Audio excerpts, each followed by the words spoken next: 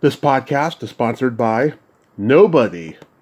Hey dudes, this is Stacey Nelkin. I played Ellie in Halloween 3 season of The Witch, and you are listening to Tommy Throwback Kovac on Splat from the Past. He's fucking awesome. The keyword is fucking. All right, guys. Hey dudes, welcome to Splat from the Past, the only 80s themed horror sci fi show where things can get totally radical. Now, today I will be welcoming back my good friend Stacey Nelkin for the third time. We are going to celebrate the 40th anniversary of Halloween 3 Season of the Witch. And it's always a fun chat with Stacey. She has no filter and she is friggin' hilarious. And uh, she was at Son of Monsterpalooza recently. I want to get into that a little bit because I really, really wanted to go and meet her, but unfortunately I couldn't make it due to a lot of bullshit that's going on in the life. But here we are, you know, and it's going to be a great conversation today. Uh, and I'll see. I want to see how far along her book is coming because uh, I've known about that for a couple of years. I'd like to see what the progress of it is. Halloween October is almost over, and I've got some real toe curlers coming up for all of you. Wait till you just see. It's going to be fantastic. And then November starts. Trying to get the show fully booked for next week. Let's see if I can pull that off. But here we are, ne- never, nevertheless. So yeah, here is my new interview with Stacey Nelkin. Hello. Hey, Stacey, welcome back. Hey, how are you? I am doing good. How are you doing? Good, good, good. Thanks. Yeah, I'm hanging in there. It's been a bit challenging, but it's been a rewarding year. Uh, my mom had an, my mom had an incident recently, but she's hanging in there, and I Okay. I got diagnosed with type two diabetes, but I've been kicking its ass ever since it happened. Um, it's You you got diagnosed with yeah, that? yes, Okay. Well, do you need to lose weight? It's usually yeah, associated with overweight. Yeah. yeah. I've lost I've Start eating healthy and diet and exercise, and you won't be having it anymore. Yeah, I've lost 30 pounds so far, and my AC levels went from 7.8 to 5.4. So I'm it's I'm, Wow. Yeah. Great. Good for you. I'm kicking its ass. Good. Yes. Yeah. So good. Good. can you believe it's been 40 years since Halloween 3 Season of the Witch? Uh, not not even remotely. Can I believe that? Nope. nope. Yeah. So from what I remember you telling me, you got cast and then filming started like three days later, right? Yeah. Yeah, I was very last minute. They were looking and looking for somebody to play the part of Ellie, and uh, they had uh, mentioned it. It had been mentioned to me, I don't know, weeks and weeks and weeks before, and it didn't interest me until I actually read the script and relented because um, the makeup artist um, Ron Ron Walter, who was already hired, um, somebody I had worked with on a miniseries called The Last Convertible, um, and my then boyfriend Perry King was staying with Ron after he and his wife broke up, and so Ron, who had already been hired to work on Halloween three, kept saying they're looking for this this actress, you know, it could be you. Why don't you audition? I'm like, ah, no, I don't want to do a horror movie. And then finally, he talked me into it, and I read the script and loved the part, and that's how it happened. God, that was back back when there was this this organic domino effect in Hollywood where like everybody knew each other and everybody would give each other work. Now nobody wants to help anybody, you know? Very, very different time. Back in those days, people actually used to meet each other. Right. From what I understand now from my my friends who are still at it in in Hollywood, you know, it, casting directors don't get to meet actors. Actors and actresses don't get to meet producers, casting people, directors, anybody.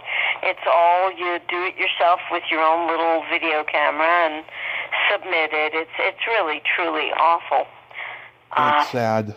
Yeah, it's really sad. And of course, you know, everyone would have meetings. They'd have them, you know, like like in, in someone's home in the hot tub or something like that.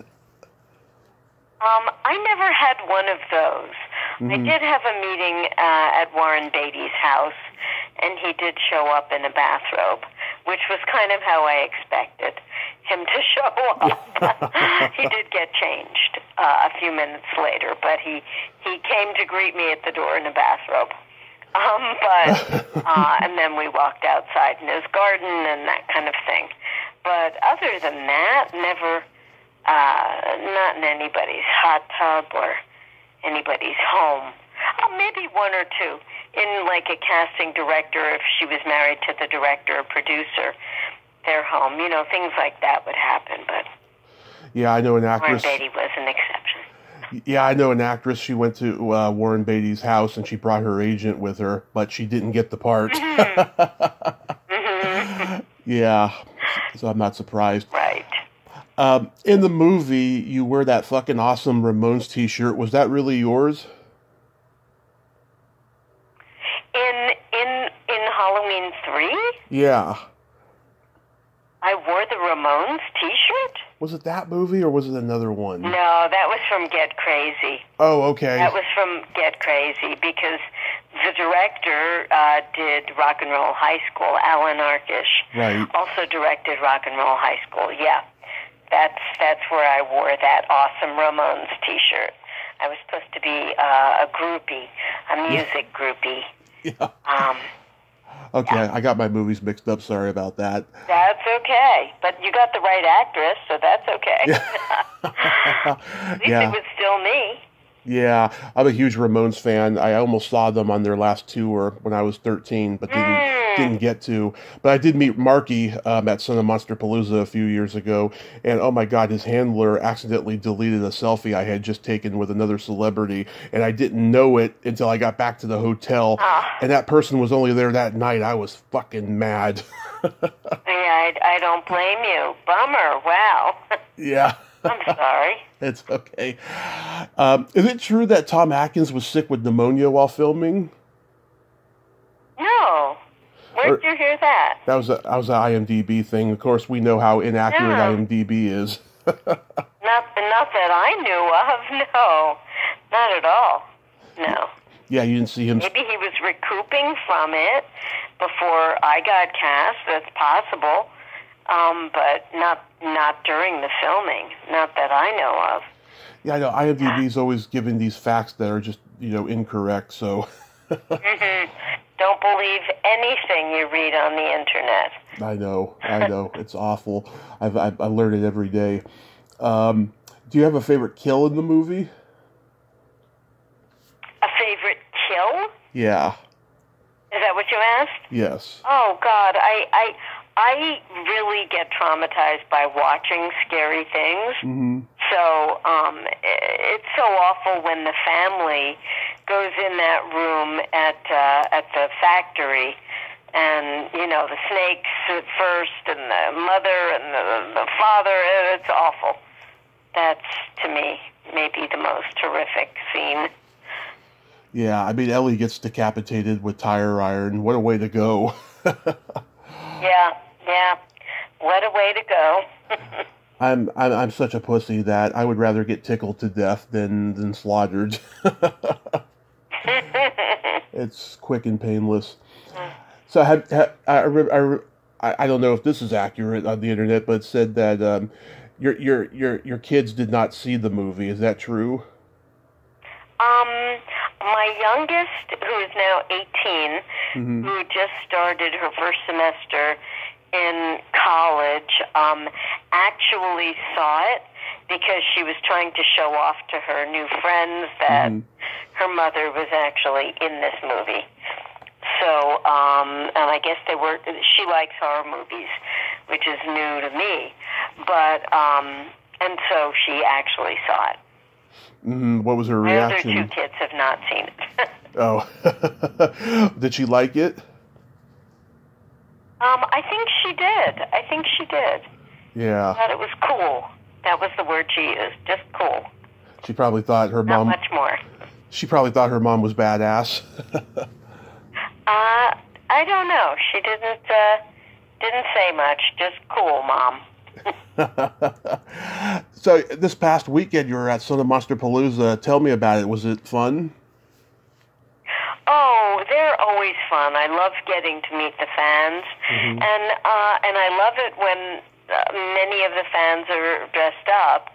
And I guess because it was so close to Halloween, there were a lot of people mm-hmm. in costume. So it's as much fun people watching for me as it is, you know, for the fans. yeah, it was very well attended. Wonderful, wonderful people. Mm-hmm. You guys did the panel and all of that. Mm-hmm. Yep. Yeah, and, and Tom's healthy. He's good.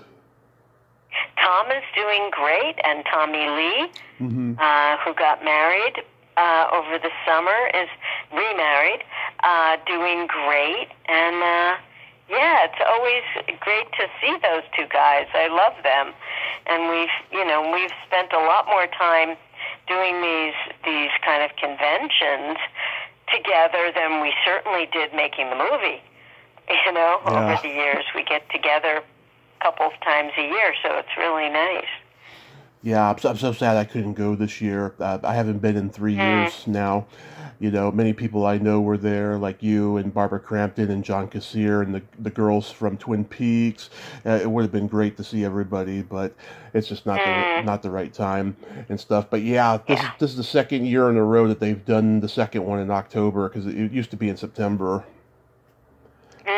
Okay. And every time I would, every time me and my friend would drive out there, oh my God, it was blazing hot. Like, you know, late summer, early fall, blazing mm. hot.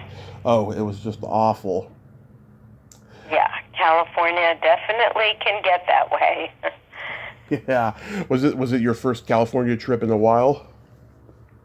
Um, in a couple of years, yeah. Certainly haven't been there since COVID and maybe a year before that. So it's been maybe three years. Mm-hmm. Yeah. So the weather was nice. Uh, the weather was actually it rained uh, Saturday morning.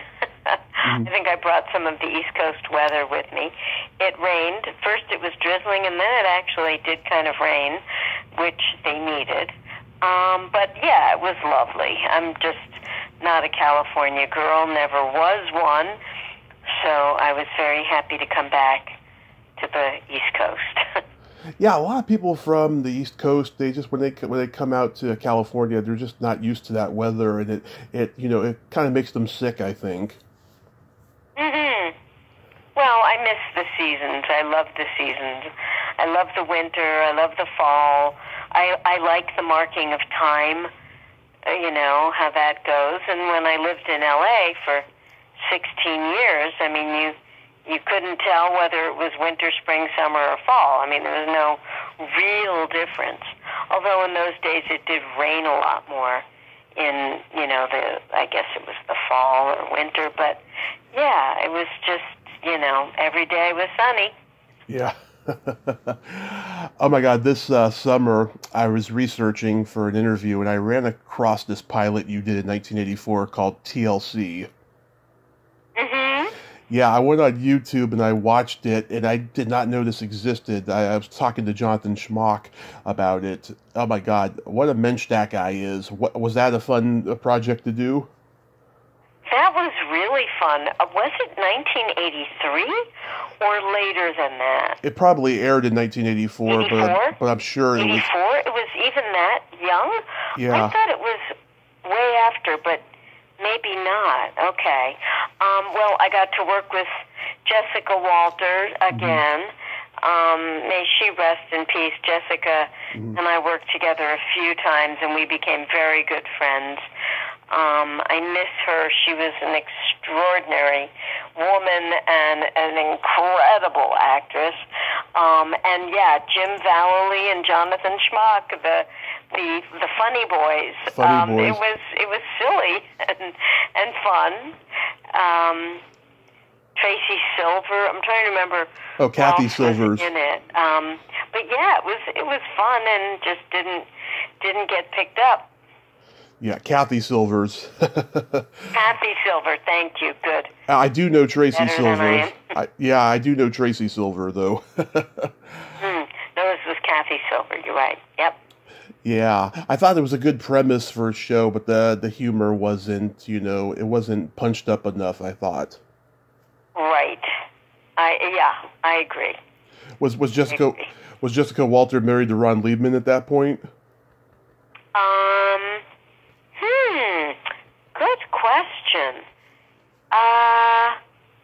I don't know. Okay. I don't know. Yeah, because I don't. I don't. I don't know. Good question.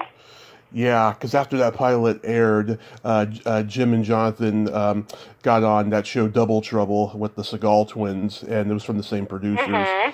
Yeah, Yeah, and then they did. Was Jonathan? I guess wrote and I think produced some of the, um, uh, you know, the big show that Jessica wound up doing before she died. What was it called? Um, uh, Arrested Development. Arrested Development. That's it. Arrested Development. Yeah, yeah. And Jonathan did wrote a lot of the episodes. I mean, I watched it during COVID. I never saw it when it was actually on. I went, "Oh my God, Jonathan!" Yeah, and then it made sense that that's how he and Jessica met. So. Yeah, and of course everyone knows Jonathan as the snooty maitre d' in Ferris Bueller's Day Off. Mm-hmm. He was, Right. He was so good. Right. He was so good in that. Yeah. Any any good stories about working with John Ritter on Sunset Limousine? Oh, you know, no good stories. He was lovely, though. Mhm. No, I, I didn't really have any good stories about him. I I remember Martin Short doing the most brilliant impersonations of Frank Sinatra and all kinds of people. And Paul Reiser, um, who went to Stuyvesant High School Mhm. a few years before I did, where, you know, I also went singing the Stuyvesant alma mater to me, which I never even knew there was one. Yeah. Um, but no, John, uh, John Ritter, no. He was really lovely guy, though. Really, really nice. Yeah, I, I've never heard anything bad about him. He was just, Yeah. he was a class act. That guy. Yep. Yep. Yeah, I used to see that movie. I used to see that movie on cable all the time when I was a kid, and I would watch it because I had such a crush on Susan Dey. She was hot, Oh, yeah, from Partridge Family, of course. and L.A. Law. Yeah. oh, right. Of course, yeah. The, the first time we talked, you know, you told me about how Yellowbeard was was your favorite movie making experience. I'm curious to know Mhm. what was it like working with James Mason. Oh God, um, he and I didn't have a lot to do together at all, Mhm. um, and and he was he was quite elderly at the time, but Yeah. you know I grew up watching you know reruns of all those great old you know 40s and 50s and 60s movies, and Yeah, you know he starred in Lolita, you know with Sue Lyons, and I mean he was just incredible just an incredible actor, and he was so so handsome. He was still really good looking. He must have been in the seventies when we did the movie, um, but still very attractive, dashing man. But I didn't really get to work with him. You know, we didn't have scenes together. So yeah. Um, Mel told me that they had dinner many nights, and that he was just so starstruck by him. Like he wanted to ask him so many questions Mhm. about his career, but he just couldn't bring himself to do so. Yeah, no, he. I mean, he was a huge, huge star in you know in Hollywood in the fifties and sixties. Yeah. Oh, he's one of my favorites, and um, I just did a tribute to him uh, with his grandson Duke Mason, um, who's in politics out in L.A. And oh my God, Stacey, he looks just like his grandfather and talks just like him. Oh, I've got to look this guy up. Okay. Yeah, he actually has had a um, a Zoom show for a while called Duke's Download, and yeah, he's on Zoom there, and God, he's such a handsome guy, very handsome. Yeah. Well, if he looks anything like his grandfather did, yeah, Yeah, and his very handsome. and his mother is Belinda Carlisle, so he has her nose, you know. Oh wow. Oh, and she's gorgeous. Yeah, She's yeah, beautiful. Wow. Yeah. He has good genes. Who's the dad? um, James Morgan Mason. Yeah. He, he Okay. he was I a- think I knew this. Right. yeah, he was an agent. Okay, that makes sense. Yeah, he was a William Morris agent for a while, and before that, he had been Hmm. he had been uh, Reagan's aide in the White House. Mhm. Yeah, Mhm. so there's a lot, there's a lot of history there. Yeah. Also, in 1984, you were in The Jerk 2, and I, I love Mark Blankfield. I, Mark, uh, Mark Blankfield. I think he's an underrated Blankfield. comic genius, but he's no Steve Martin. Um, how was he to work with? Oh God, he was delightful. He was so sweet and so. Um, I didn't really know his background. I, I never saw stand up or anything that he had done, but The Fridays. you know, I know they put a lot into the into the um, pilot, and he was represented by um, people who I was represented by for five minutes: George Shapiro and and um, uh, and and John and um, West, uh, Howard West, who uh, you know George Shapiro was was Seinfeld's Mhm. he discovered Jerry, you know, Oh, and yeah. he he represented. They were managers represented Jerry Seinfeld. So you know, if and they they produced. They were executive producers of the pilot, and you know, if they had that kind of faith in in Mark, you know, uh, obviously, you know, Mhm. they they felt like it was going to go somewhere.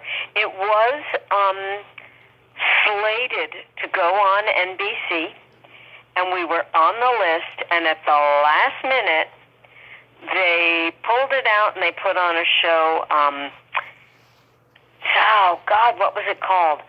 Something, not Bay City Blues, maybe Bay City Blues, something like that. Completely different type of show. But for a minute there, you know, we were going to have a, we had the green light, so, um, which would have certainly changed my career around a lot. Um, but you know, Yeah, and that's how luck works. yeah. I've talked to a, a few people that were on Bay City Blues. Um, hmm My favorite George Shapiro story Marc Maron is interviewing Carl Reiner, and Shapiro is there, and he falls asleep before the interview starts.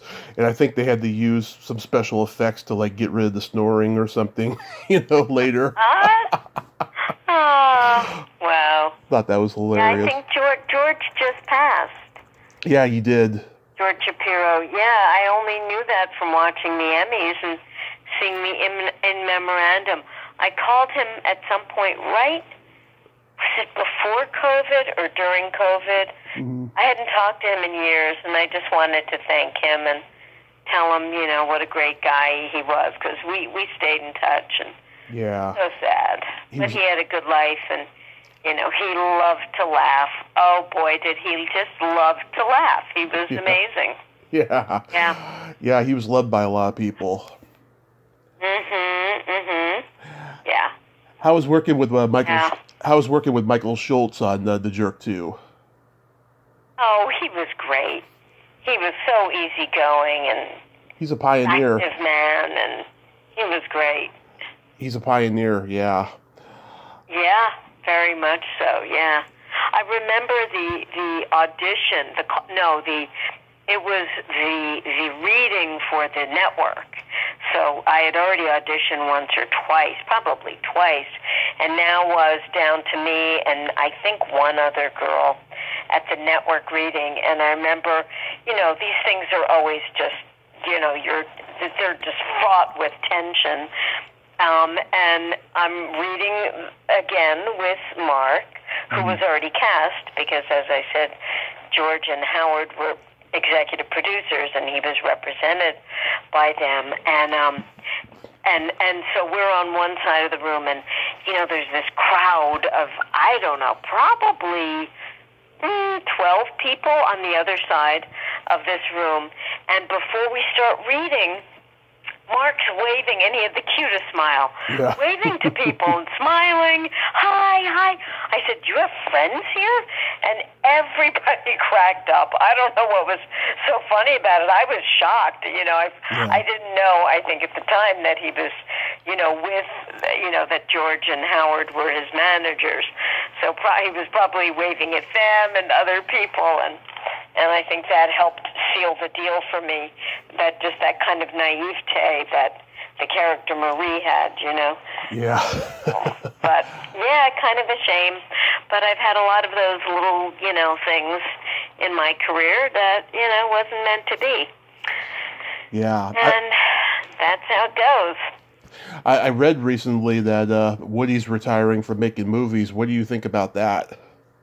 Oh no, he's not. No, then the very next day, and I know he's not. Oh, he's he's not? in France right now making a film um, that's all in French. Um, and no, he has no, he has no intention of retiring. So you I don't think? think he'll ever retire. I think he'll keep trying to make them. Uh, certainly, Mia Farrow and Ronan Farrow did not help. Uh, they they they they put his career in in the grave. Uh, so he's trying to resurrect it as best he can. Uh, he didn't help himself by being with Soon-Yi, but that's a whole other deal. But Yeah. you know, Mia was out for vengeance, and and Ronan now as well. And Ronan's quite powerful in uh, in the media, and uh, it's been very difficult. He's been canceled, as have several other people, but for the wrong reasons. You know. hmm Um, so very, very sad. He's a a comic genius, and it makes me very angry um, to see what what's been done.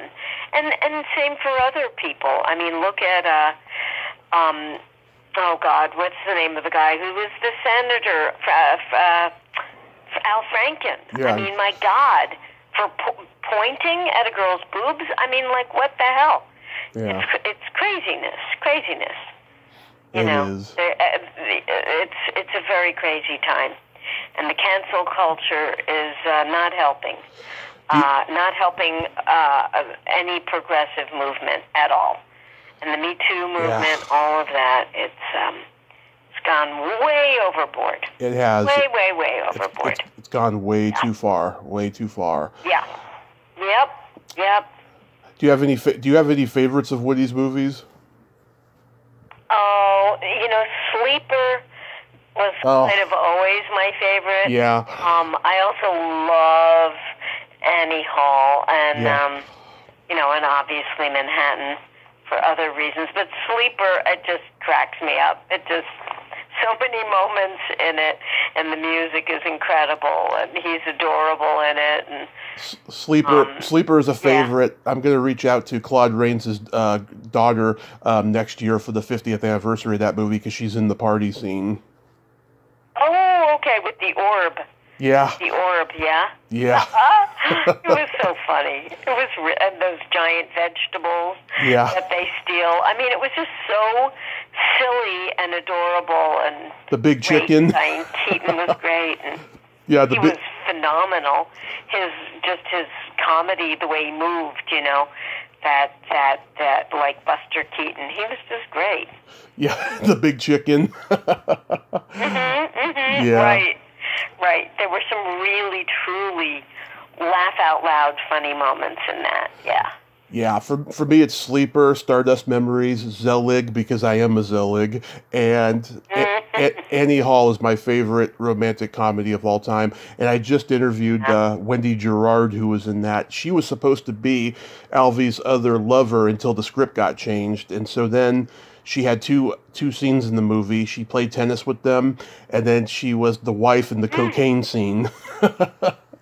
In the witch scene? in the cocaine scene when Woody sneezes. Oh, great with Jeff Goldblum and No, and uh, and and yeah, No, it was her and John Doumanian in that scene. Jeff Goldblum was in the. right. uh, and the- John, when when in- Woody blow, uh, sneezes and the coke goes everywhere. yeah, Goldblum was in the party scene when he said he forgot his mantra. right, right, exactly, exactly. And then they cut to them all snorting coke, and he sneezes. Yeah, my, my dad went 25 years without seeing that movie, and that was literally the only scene he remembered. wow. yeah, my dad did his share of blow in his day. Mm-hmm. So I want to update you on my love life. Um, I have a crush on my neighbor, and I've been trying to make time to go ask her out, but every time I do, she's never home. Um, since since since the pandemic has wind down a little bit, right? Uh, she's Yeah. just she's just not never home, and uh, she was v- very nice to my mom during lockdown. Like uh, my mom would go, Aw. my mom would go over there and they would talk and have coffee or whatever, you know. And I was Mhm, like, she's mhm. she's cute. God, I I, I, I want to go out with her, you know. But Maybe then you can write a note to her or something and maybe, in her mailbox and say thank you so much for being so so kind to my mom. Um, by the way, if you ever want to get a coffee or yeah, watch a movie together, I'm a film buff, and I don't know, yeah. worth a try. Yeah, but you know the thing is though, it's, it's going back to what we've been saying. You know, it's a different time now. I just, just Yeah. there's so much fear been evoked in people. You know, since since post 9/11. Especially for men. I know. Yeah. My son is 21 and in college, and you know, you can't say anything to a girl without being canceled or called a rapist. It's unbelievable. Yeah, You can't put your you can't put your hand on a girl's leg without being called a pervert or this or like what what happened to girls and guys getting together? right. It, it doesn't happen as much anymore at all. It's really bad. Well, so you could preface it by saying, I hope you don't think this is inappropriate, Exactly. you know. Yeah. Yeah. everything's inappropriate to these young girls in their 20s, and it's just, uh, I don't know. We That need we, doesn't bode well for the future of our planet because if people don't procreate, yeah. at some point. but anyway, it's just it's just sad. There's no there's no flirtation going on, you know. Yeah, we need to bring over with. we need to bring back Sadie Hawkins Day. Yeah. Right, right. There you go. Exactly. Girls ask the guys. Girls make the first move. Yeah. God. Right. Yeah. Well, it's kind of what they do now too. Yeah. I'm still friends with that girl in Texas that I told you about last time, and Mhm. Oh, good. Okay. we talk on Good. Facebook and we we engage in a little bit of exhibitionism, and we have fun that way. You know. Um, Good. Yeah, I, she really does have a, boyfriend and stuff, but when he's not around, we have some fun. Okay. Well, as long as you're having some fun, but maybe you want somebody for yourself, you know. yeah, Be but better. I'll hopefully I'll, I'll get I'll get to ask out uh, my neighbor though. We'll see. Yeah, that would be great.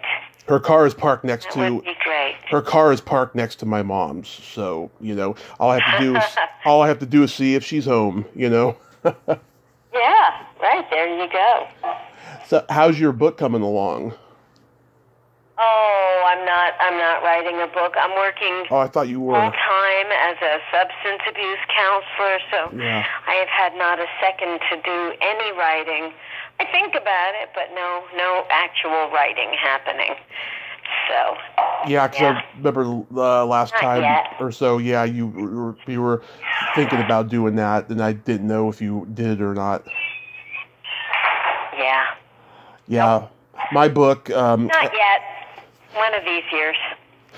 Yeah, my book is taking on a life of its own. I'm in the middle of reconstructing it and um, rewriting it to, to make it better because I just keep remembering stories, you know, that I've forgotten all Right, about. right.